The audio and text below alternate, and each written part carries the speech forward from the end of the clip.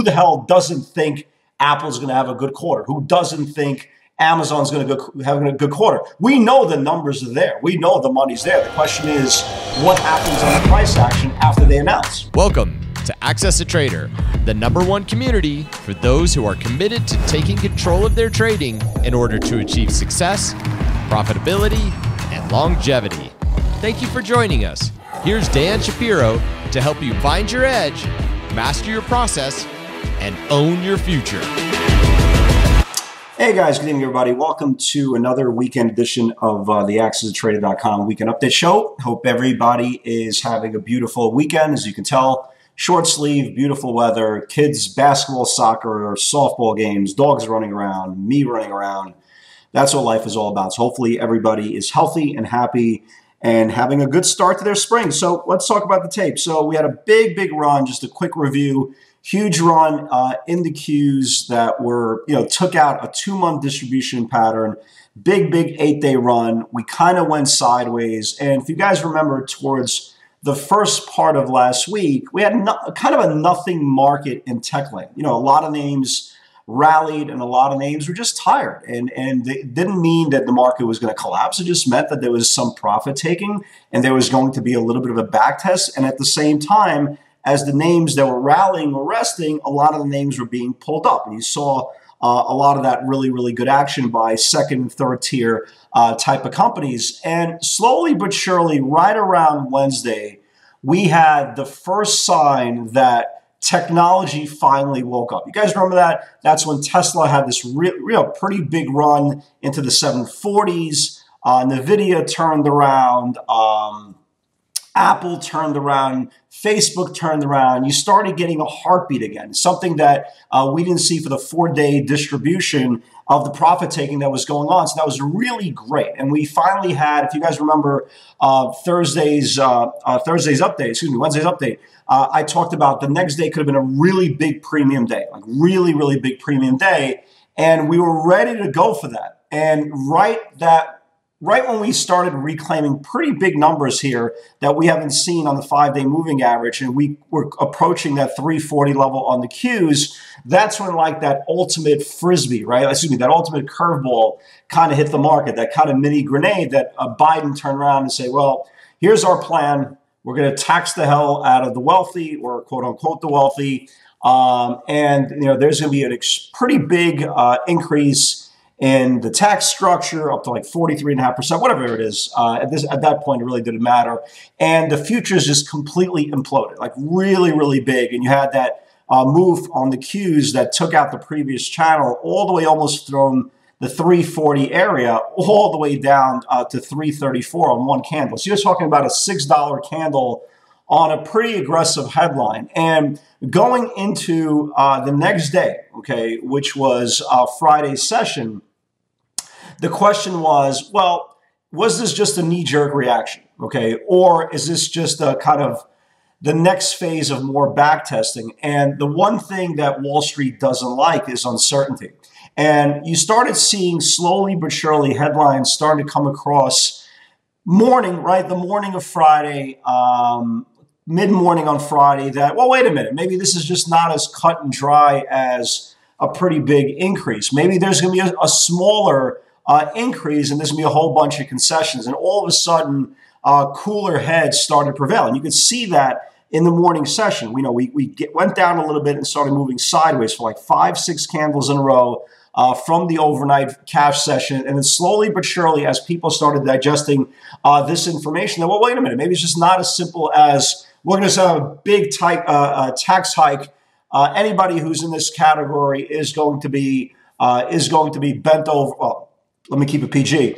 And um, moral of the story is, you know, there's something, you know, there's something that could actually be uh, pretty salvageable, right, on both sides. And what we saw the, the day before, right, that big rally and that confirmed confirmation, the stock market has a very, very short memory. And all of a sudden, that headline that looked so aggressively bad for so many people, right, all of a sudden got negated. All of a sudden, uh, the feel good story about the Qs reclaiming supply overtook that headline that again if you are a cooler head prevail type of person you always realize that again there has to be concessions. It's just not as simple as the president going okay we're going to raise taxes. Okay let me you know i'll, I'll pay whatever you want. It, there's, there's, a lot of back and forth. There's obviously uh, two parties involved and it's not going to be as easy as pass as people think maybe it is maybe it's not but i don't think it is and hopefully uh, that's the reality uh, so the market started to playing out uh, what we saw more on the Wednesday into Thursday session than what we started seeing on that single candle uh, into uh, the close on Thursday. And slowly but surely, not only did everything wake up, right? That everything was waking up since that Wednesday session. Not only did we wake up, but we actually took out the previous day's higher, higher than the Joe Biden candle, and put in the highest close in this whole formation reclaiming the five day moving average. That's super bullish, right? Again, there's certain times that you can turn around and say, well, let me make a case for the bull case. Let me make a case for the bear case. It's like that first time that we, you know, that we closed uh, below the 50 day moving average. In that video, I said, look, there's nothing to talk about. We closed below the 50 day moving average. That's bullish, right? Unless something really, really crazy comes out, it's a sell bias market and, until further notice. And we started selling off for the next two weeks. We reclaimed the five day moving average. Again, anything could happen on Monday, right? We could have some crazy headline that's going to turn around and say, well, we're going into a deep recession. We were off. The vaccines don't work. We're, we're in lockdown. Anything could happen. Obviously, I'm being a little more theatrical here for the effect.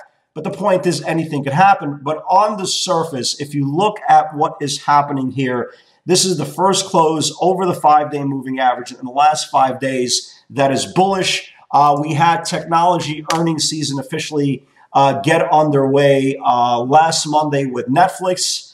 Nothing great there, right? Nothing great. And the question was was technology going to be affected? Was this going to be like the first domino to fall on earnings season? And then we are going to start retesting uh, some more aggressive levels. And obviously, the Qs and the members of the Qs, they answer that, right? If you look at a lot of names where they started off Monday, well, they started they closed Friday at much higher levels, reclaiming a lot of supply zones in the process. That's a good thing. Uh, going into this week, of course, yeah, I mean, we're, we're, I'm definitely uh, bullish at least start the week. Again, there's no reason for me uh, not to be bullish unless, you know, again, I'm recording this video at 2.30 in the afternoon on Saturday. Okay, you're probably going to get this video uh, at some point either Saturday night or Sunday morning. At that point, a lot of things can happen for at least the, this juncture of my life, things look really good. And if you look at uh, setups for Monday, you know, you have a lot of really good looking setups. And obviously, uh, the catalysts are going to be technology earnings. Uh, Tuesday,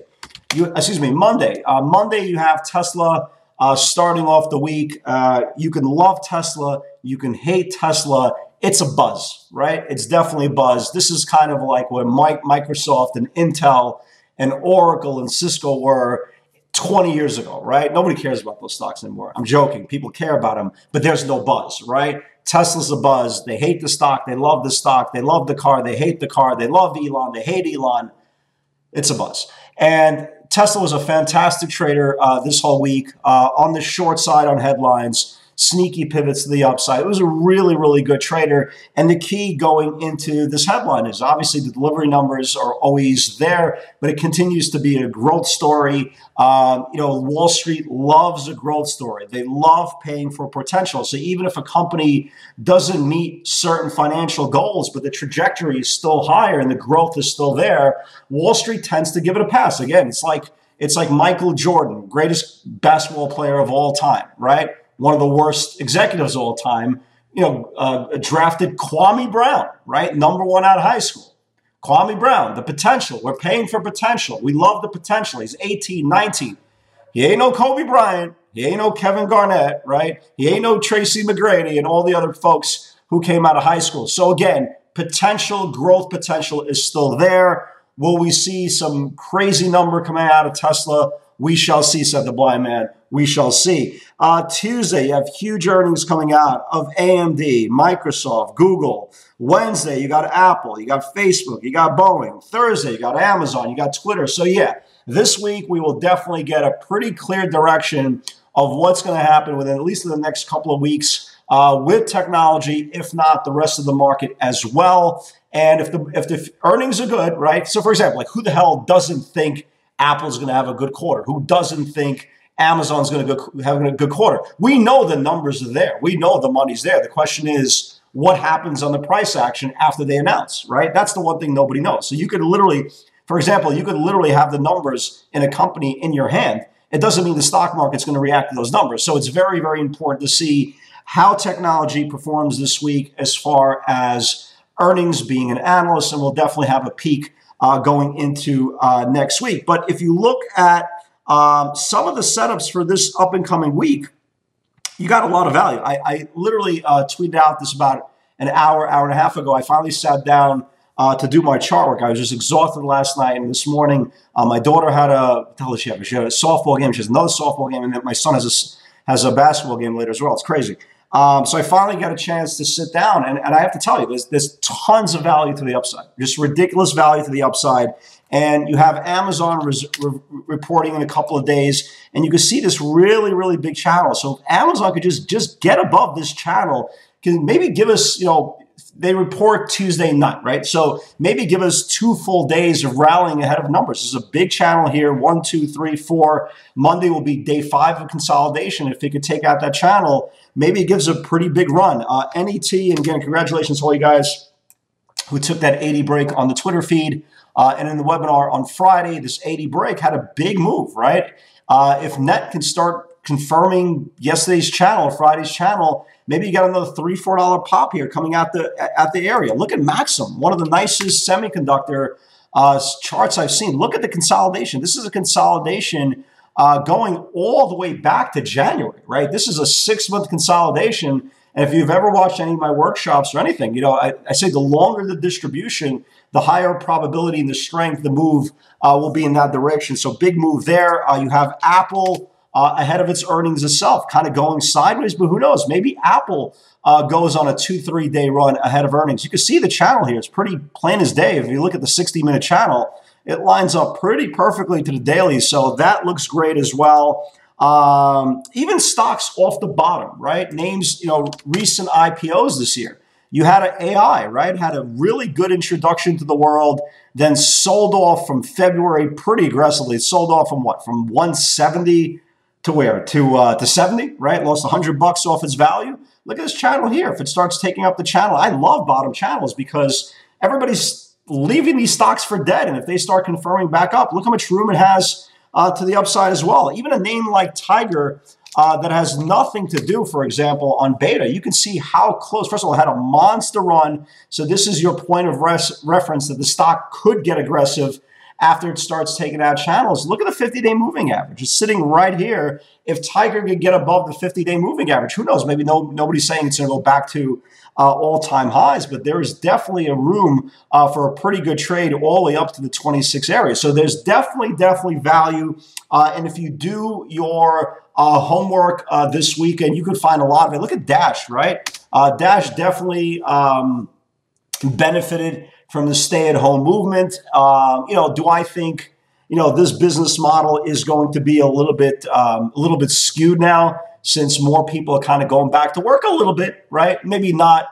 Uh, it won't be as affected as, like, for example, as Zoom. Because I think Zoom is a number one, a phenomenal product, uh, and everybody uses whether you're going back to the office or not. So I don't think it's going to kind of uh, thrive like a Zoom. But hey, listen, nobody cares what's going to happen in the future. We're just trying to uh, fight and win our interval today. And look at look at look at Dash's chart. If they could just get above the 50-day moving average, you, you have 10 $12 worth of room as well. So guys, we're set up, man. We're set up. Again, you don't need to do a long, uh, you know, long drawn out kind of update and research. Do your uh, long bias research today. Um, you know, get your ducks in order. Put the names that you want to trade right in front of you. So if you trade Tesla, Watch Tesla. If you don't trade Tesla, well, why the hell are you even looking at Tesla? There's so many good opportunities. The only question is, is the market going to participate and are these channels going to confirm? Other than that, folks, it's 75 degrees. I got another kids sporting event to get into. Go get some rest, go get some love, be happy, go get some ice cream, whatever puts a smile on your face. We only have one life, guys. Remember that. There is no mulligans. Guys, have a great weekend. I love you all. God bless, and I'll see you all on Monday. Take care.